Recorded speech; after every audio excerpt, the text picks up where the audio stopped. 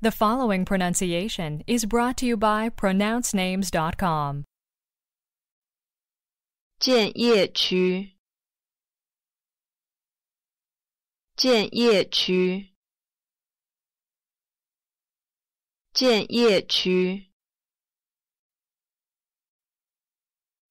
we have the correct pronunciation of your name?